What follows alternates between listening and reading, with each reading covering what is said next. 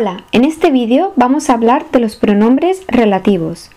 Hi, in this video we're going to talk about relative pronouns.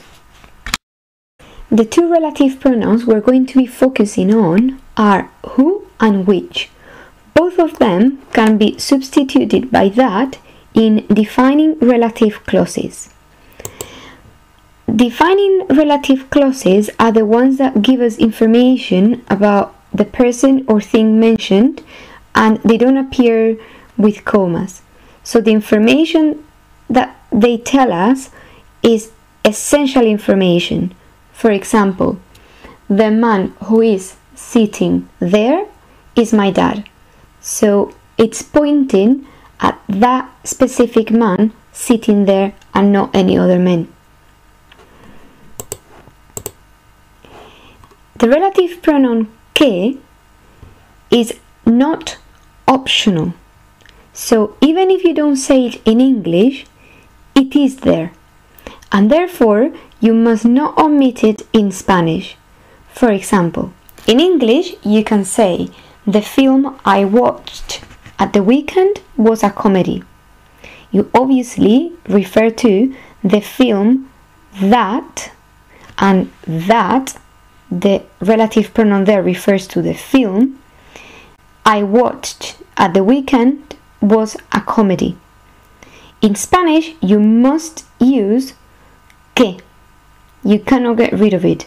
La película que vi en el cine el fin de semana era una comedia.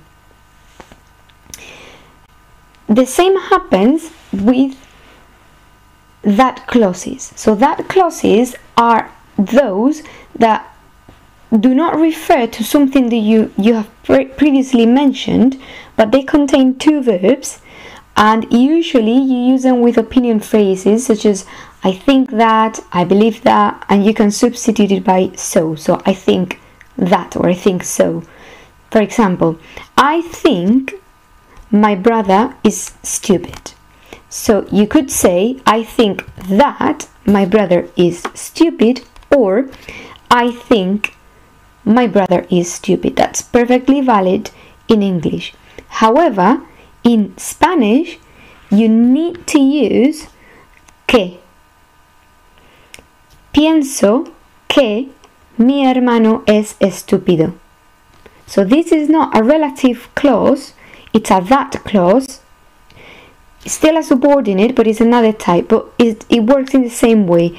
You tend to get rid of that in English. I think that my brother is stupid. You would just say, I think my brother is stupid. In Spanish, it is compulsory.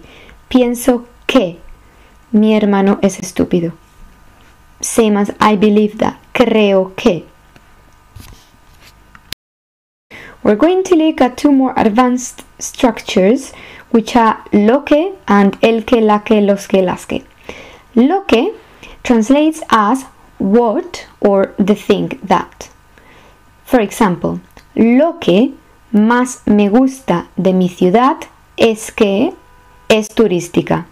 The thing that or what I like the most about my city is that it is touristic. Second, el que, la que, los que, las que. There are four forms, obviously, because it depends on what comes after. They all translate as the one or the ones who or the one which. For example, the supermarket.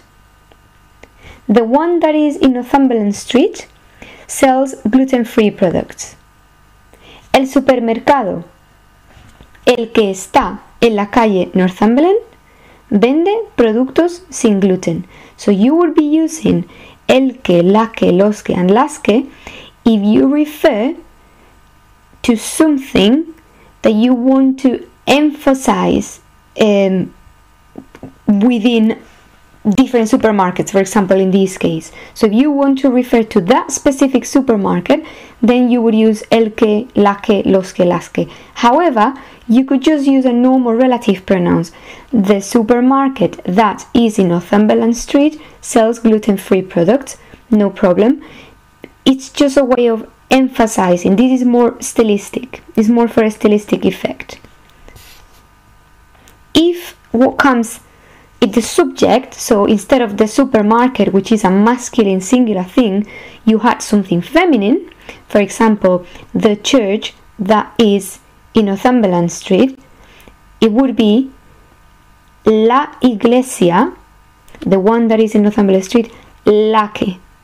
If you refer to two supermarkets or more, you would say los supermercados, los que están, and if you refer to two or more churches, for example, las iglesias, las que están. As usual, whatever the subject says, it needs to go with any determinant, any pronoun, any relative pronoun, any adjective, etc.